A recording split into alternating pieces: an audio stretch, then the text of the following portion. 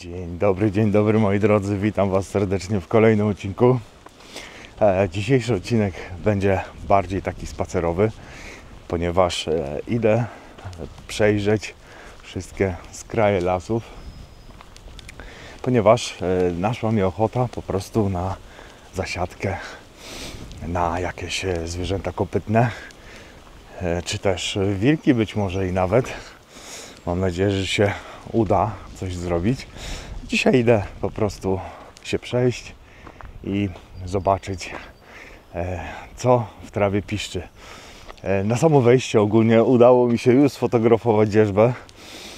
E, Filmik nagrałem, ale niestety jeszcze mój statyw był w plecaku z głowicą, więc nagrywałem z ręki.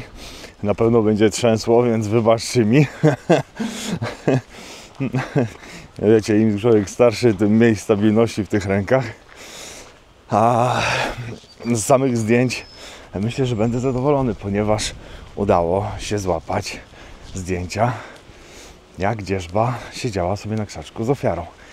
Więc super, super. Moja trasa na dzisiaj, moi drodzy, to będzie e, odwiedzenie dwóch jeziorek. Pierwsze to Goplanica, drugie jezioro to będzie Jelenia Dolina, a więc mam nadzieję, że się coś uda. Poczekajcie, bo właśnie siedzi dzierżba dosłownie obok mnie. Co ja jak berety, ja tutaj idę i rozmawiam do Was, a spójrzcie, gdzie siedzi dzierżba.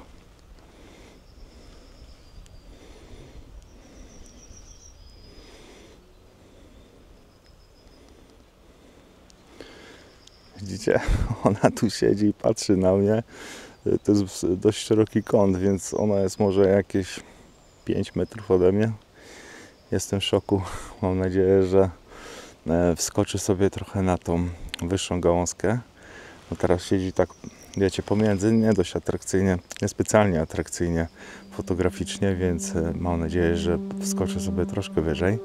Ja chwilkę poczekam i zobaczymy, co z tego wyjdzie.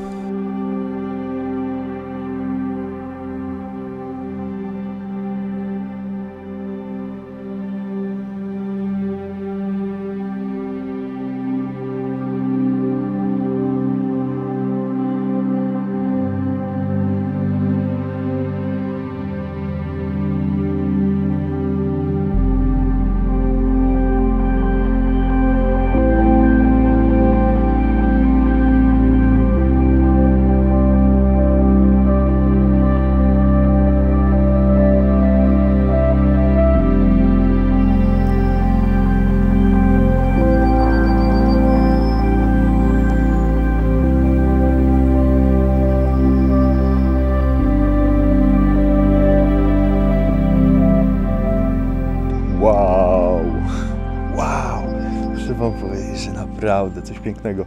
Jestem w szoku, bo stałem sobie, zobaczcie, to jest to drzewko za mną. Widzicie? Dosłownie praktycznie na wyciągnięcie ręki.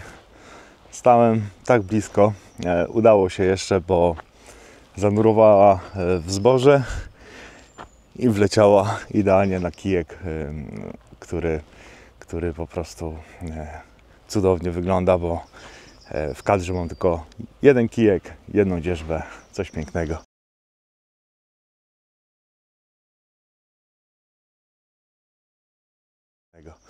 Czego chcieć więcej? Jestem e, mega szczęśliwy. Niestety znowu mój statyw był w plecaku, ponieważ e, no właśnie wchodząc w to, w to miejsce po prostu zacząłem nagrywać do Was i na samym wejściu zrobiłem zdjęcia dzierżby. No i tutaj już później kontynuowałem rozmowę do Was i, i znów bez, e, bez statywu, więc będzie, wiecie, obraz latał, nie? No nic, mam nadzieję, że mi wybaczycie. A druga sprawa, mam nadzieję, że dzisiaj się nagrywa w stereo, e, ponieważ e, ostatnio naprawdę nie wiem o co chodzi. Złośliwość rzeczy martwych prawdopodobnie.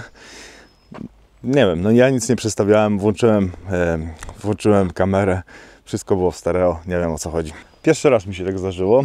Dodam, że nagrywam Osmo trójką DJI-em z mikrofonem tym DJ Mic 2 czy jakoś tak, nie wiem, to co było w zestawie w combo.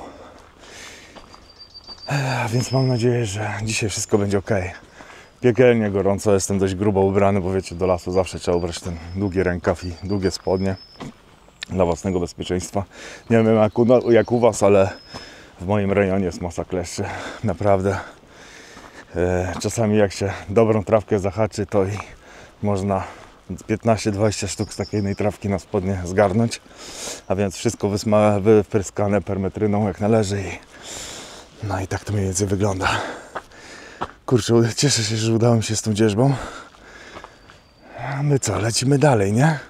Piękne zboża, wszędzie żółto. No i właśnie na takim tle udało mi się ją sfotografować. Super, coś pięknego. Nie teraz iść tu? Nie, no idziemy tutaj.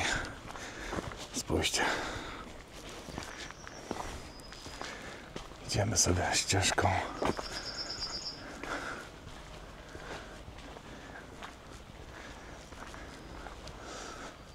Tutaj piękne pola i zboża. A tu wchodzimy już do lasu. I tym lasem będziemy kontynuować drogę. Najpierw do jednego jeziora. Chcę sobie zobaczyć, co się dzieje. Czy jest jakieś ptactwo na jednym z tych jezior. Żeby po prostu przyjść sobie później z prowadełkiem. Nie wiem, czy mam iść tu, czy to. Muszę zajrzeć w mapę.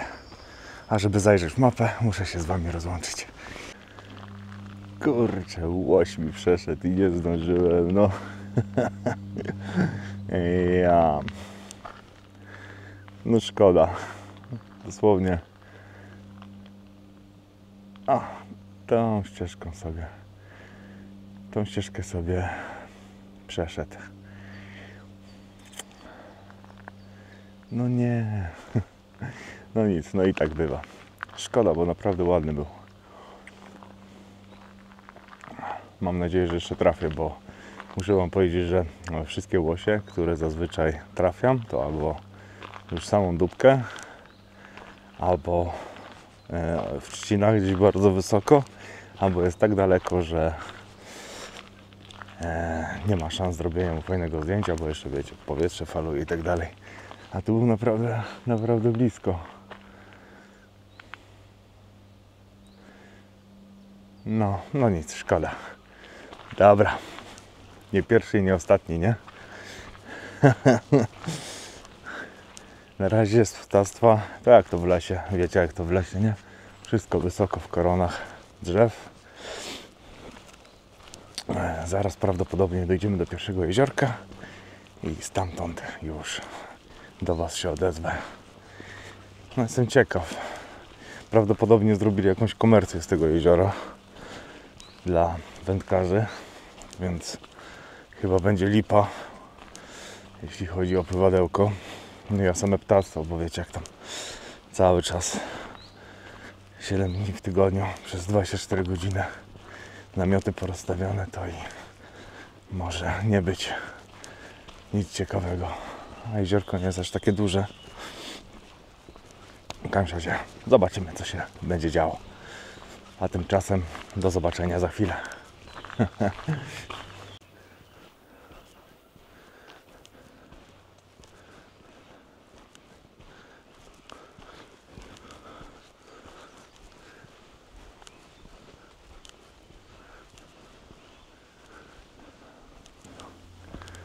W taki oto sposób doszliśmy do pierwszego jeziorka. Hmm. Na razie nic nie widać.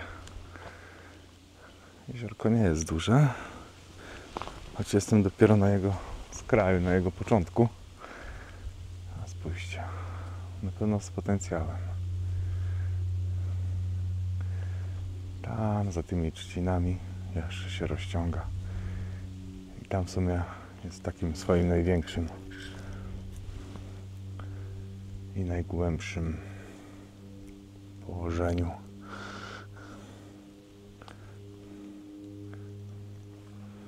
Co, idziemy zobaczyć tam dalej?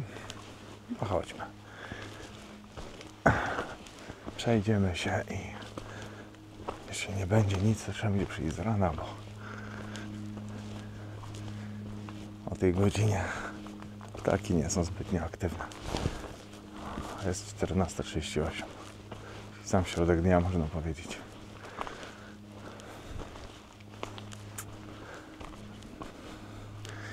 Tu dobre miejsce na zimorodko, nie? Spójrzcie. Przewrócone drzewo. Hmm. Na pewno lubicie przysiąść, jak o ile jest na tych gałązkach. Idę zobaczyć dalej. Spójrzcie dość świeże ślady bytowania bobrów, ale muszę Wam powiedzieć, że ze drzewa takie jebitne się biorą. Spójrzcie jakie buki duże. Masakra, nie? Tutaj jest to samo. Tutaj świeższe.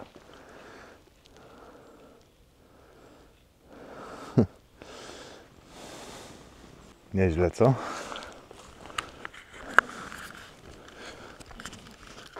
W szoku jestem. Takie buki się brać. O, się coś tam rypło w wodzie. Powiem Wam szczerze, zimorodek przeleciał dwa razy. Fajne miejsce. Kiedyś jak będę miał ochotę na zimorodka, to przyjdę i będę go tutaj na pewno fotografował, ponieważ jest dość sporo właśnie gałęzi i drzew wystających z wody. Dzięki czemu będzie spora szansa i to dość blisko brzegu, więc z brzegu będzie można się za, będzie można się skampić i, i porobić jakieś zdjęcia. No nic, idę dalej, zobaczę co tu w trawie piszczy. Tu się coś walnęło, prawdopodobnie bóbr. Właśnie. Dość, dość głośne i porządne uderzenie wodę było.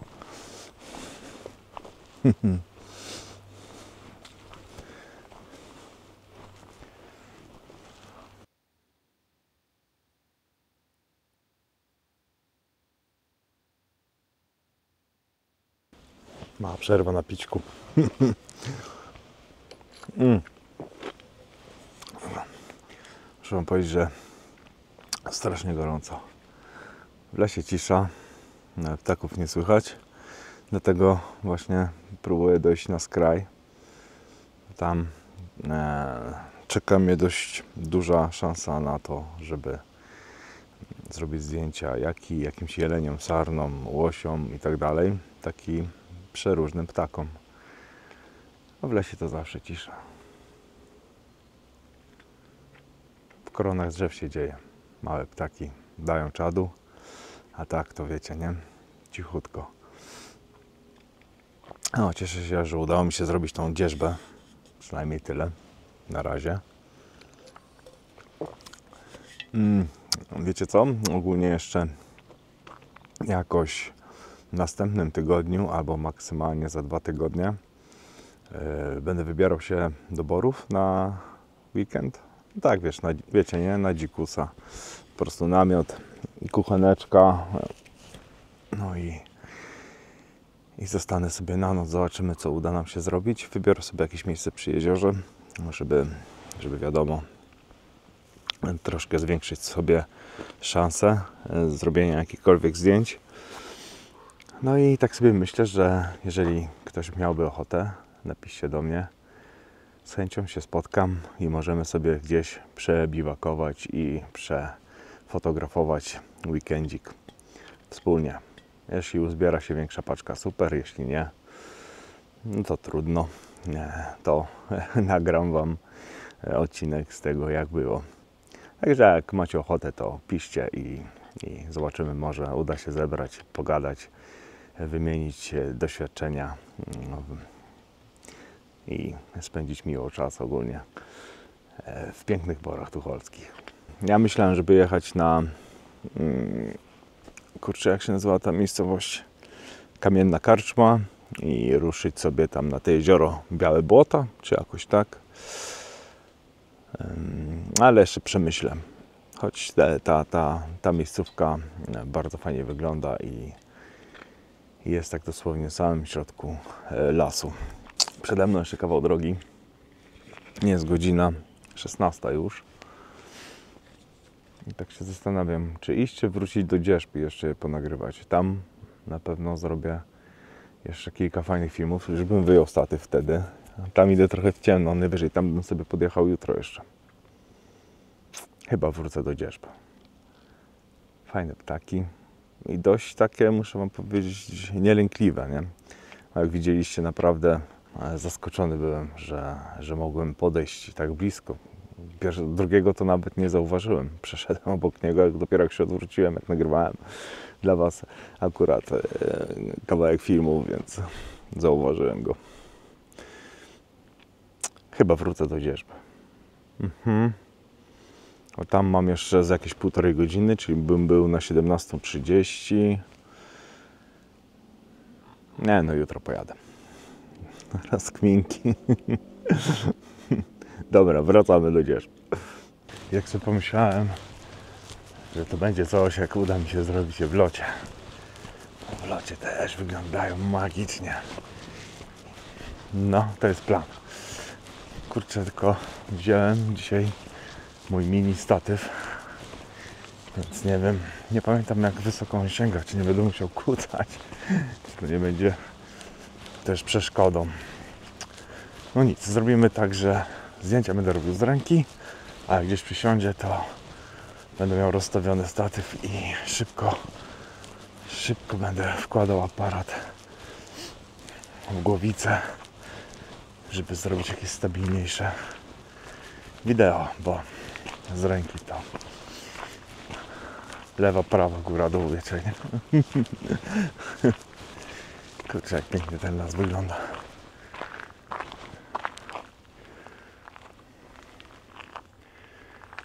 Coś pięknego. Patrzcie, jakie to jest przewrotne, nie? Doszedłem już na miejsce. No i latają dzierżby, ale są teraz tak elektryczne, że dosłownie widzą mnie z, ze 100 metrów i uciekają. I o co chodzi? Muszę Wam powiedzieć, że przyroda jest bardzo skomplikowana. No mam nadzieję, że podleci. A mój dzień pomału już się kończy i chciałbym jeszcze zrobić coś w locie. Słyszę je, ale uciekają od razu. Widzicie? Za mną te drzewo, albo to drzewo. Od razu w tą gestwinę uciekają i nie ma szans, żeby zrobić jakieś ciekawe zdjęcia. Spójrzcie. Czekajcie do ten monitor, bo nie widzę. Chyba dzień ciała, co? Tak myślicie? Wydaje mi się, że dzień ciała, nie? Dłuższego. Piękne.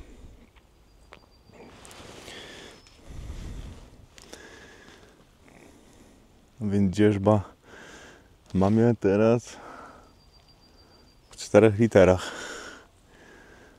Lata tam, ale już tutaj nie chcę podlecieć. Nic, poczekamy. Mam jeszcze pół godzinki. Poczekam pół godzinki. Jeśli się nie uda, to zostaniemy z tymi zdjęciami i szejkowanymi filmami. A jeśli się uda, no to super. No fajnie byłoby zrobić coś w locie, nie?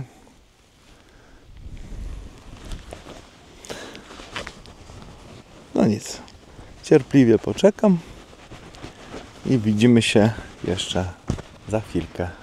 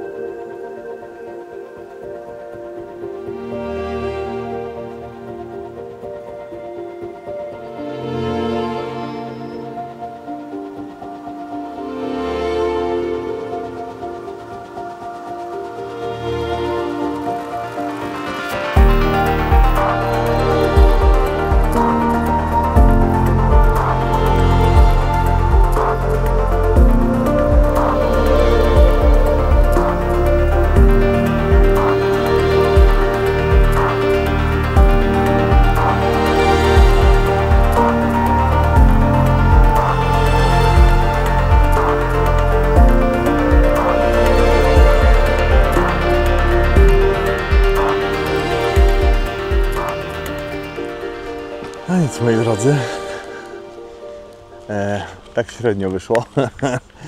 Mam na myśli oczywiście, żeby zrobić zdjęcia w locie dzierżbie. A z samych zdjęć jestem mega zadowolony, bo w takiej sytuacji jeszcze nie udało mi się złapać z tak pięknym backgroundem dzierżby. A więc super. Muszę Wam powiedzieć, że e, dzisiejszy dzień bardzo na farcie, ponieważ jak wiadomo e, przyjechałem tu z innym zamiarem, a wyszło jak wyszło. Udało się zrobić piękne zdjęcia dzierżbie.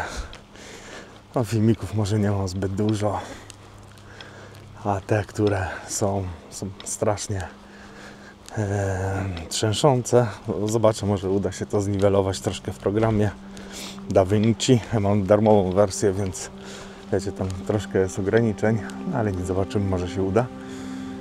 No i co? I e, słuchajcie, jeśli macie ochotę się spiknąć gdzieś tam w borach, jak będę jechał, mieszkacie gdzieś niedaleko, wiecie, nie jedźcie tam specjalnie, nie wiadomo ile kilometrów, ale jak e, jest jakaś część Was, która ogląda mnie gdzieś tam z borów tucholskich, to zapraszam. Oczywiście piszcie na Instagramie do mnie i, i e, będzie można się jakoś umówić. Co do następnego odcinka, no to kurczę, no planuję już teraz coś z wody zrobić. Albo właśnie coś e, ze skraju lasu. Może mi się uda pojechać jutro jeszcze w tamto miejsce.